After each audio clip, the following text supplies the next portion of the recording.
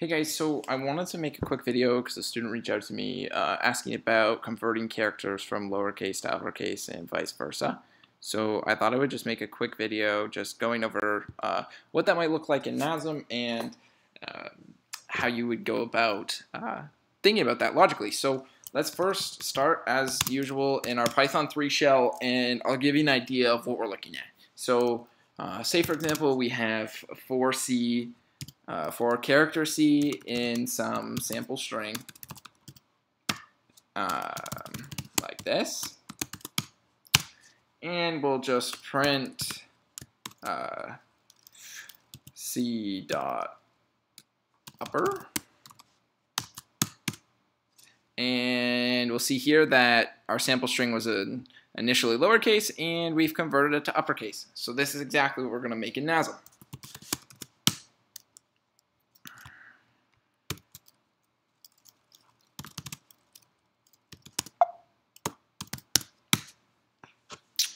Okay, so I've hopped back into our ASM file that we were working with last time. Uh, and we can see here that we still have our same sample string and we have our for loop over the for char.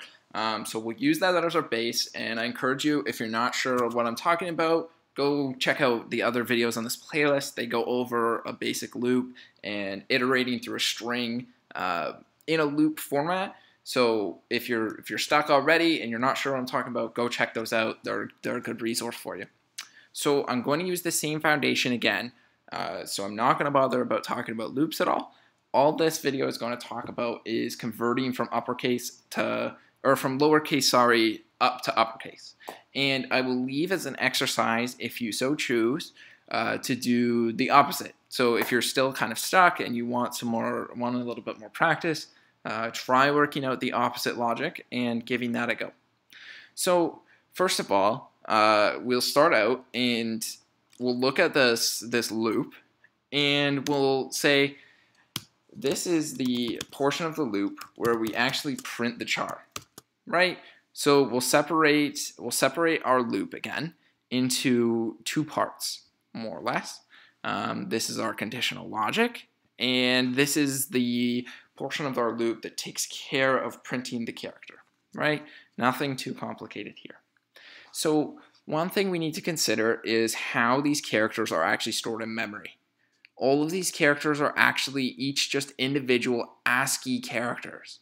So I encourage you to go online, check out and look for an ASCII uh, character chart if you're not sure quite what I'm talking about. But basically, each of these is represented uh, by some integer number uh, and that integer number to us is actually not very important because we are going to use referencing to decide what integer number we have. So let's go ahead and get started. So first, we're going to do a very easy comparison uh, to AL. And we're just going to check if AL, uh, compare AL to the lowercase value a.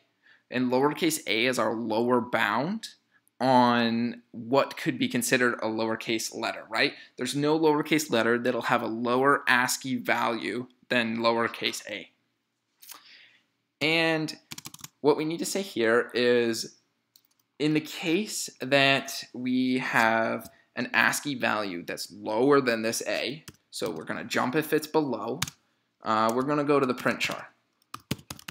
Because in this case, we don't need to handle anything. We know for a fact that our character that's in AL right now is not a lowercase character, and that's all we need to know.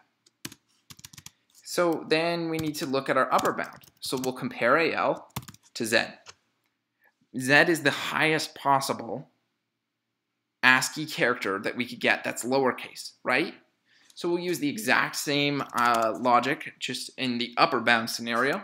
And we'll say if we get something that's above, we'll move to print char.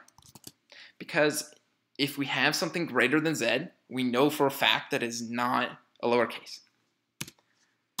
So if we get to this line here, uh, we know AL must be lowercase. In other terms, we know that AL is somewhere in the range of A to Z, right? We know that because we've checked with our conditions. So what do we need to do if AL is in that range? Well, it's simple. We know that each character is offset by some value, right? To be part of that ASCII chart. So we know that A, for example, is offset by 0 as a lowercase letter. And we know that Z is the 26th lowercase letter. So it's offset by 26. So to get that offset, we'll just simply subtract from AL the value of A, right? So this will give us the offset. If we have A in that register, we'll get 0. And if we have Z in that register, we'll have 26, right? Or 25. So uh, all then we need to do to go to uppercase is we'll add to AL the value of A. So what will this do? This will this will add the offset of ASCII to become a capital, right? So we already have some some numeric uh, along the numeric line of a character representation here, right? So A being 0 offset, B being 1 offset, all the way up to Z being the 25th offset. And then we're just going to add that offset to our base value of uppercase letters. And that's all we need to do. At this point, we'll it'll handle and go to print char.